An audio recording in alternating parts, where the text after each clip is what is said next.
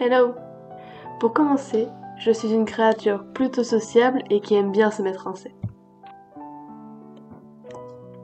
Je dors et je rêve énormément aussi.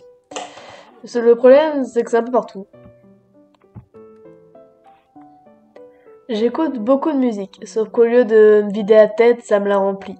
Ça me permet de voyager, mais en même temps de relativiser sur ma vie, ou de réfléchir dessus tout simplement.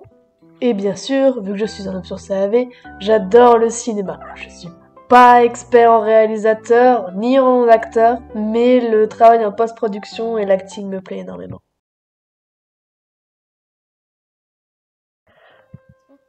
Bon, voilà, vous avez vu mes bons côtés. Les choses que tout le monde voit en fait. Je suis très souriant et si tu me vois un jour sans sourire, c'est que c'est vraiment trop pour moi. J'aime bien le terme de créature, ça me donne une excuse pour être bizarre. Car oui, je pense correspondre à l'idée que l'on se fait de quelqu'un de bizarre. Je parle de tout ce qui me plaît, je suis sans tabou, et l'esprit est un peu mal placé, j'avoue. Je change pas pour les autres, même si ça m'a, euh, même si ça en déplaît beaucoup. Euh, je m'attache trop, trop vite, et ça m'a souvent joué du tout. Mais je suis comme ça, très seul à l'intérieur, mais je ne supporte plus le contraire à l'extérieur. Seul, je l'ai été pendant des années. On me regardait de travers, m'insultait je me suis déjà même fait frapper, sans vraiment me rendre compte que c'était pas normal. Mon cerveau a rage quitte en fait.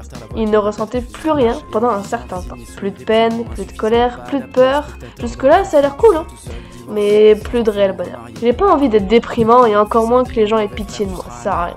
Alors parlons de ce qui s'est amélioré avec le temps. J'ai fait connaissance avec pas mal de gens. Certains sont restés avec moi. Je parle plus.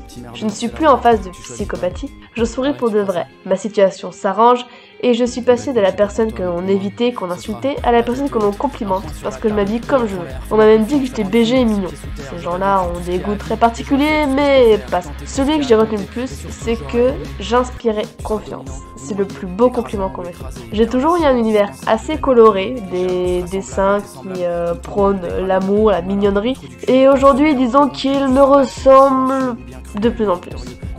Je suis toujours un gamin. Je ris pour rien et je dois avoir 5 ans d'âge mental. Bizarrement, j'espère ne pas le perdre ce côté gamin. Même euh, si je mets la honte aux autres ou je ne sais quoi. Si ça peut en faire sourire quelques-uns. Je veux éclairer la vie des gens qui m'entourent en étant qui je suis. Je veux les faire sourire, rire, quitte à me blesser, c'est pas grave. Moi, on s'en fout en vrai. Je ne suis pas vraiment quelqu'un de spécial. Juste moi et je vis tant que j'ai de l'importance aux yeux de certaines personnes importantes pour moi. Je veux devenir acteur car je veux faire rêver les gens comme eux ils m'ont fait rêver.